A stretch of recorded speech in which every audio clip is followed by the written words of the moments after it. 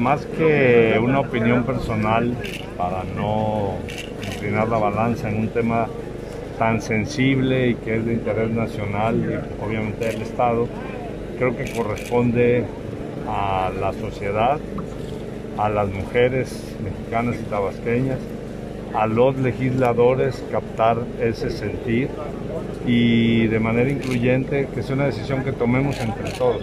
No es la decisión de un gobernante la que debe de pesar en un tema de esa naturaleza. Mira, ninguna sociedad y ningún gobierno puede mantenerse ajeno del sentir del propio pueblo y de la propia sociedad. Así que el tema está en, en la escena nacional. Nosotros no nos opondremos a lo que se decida en, al interior de las cámaras.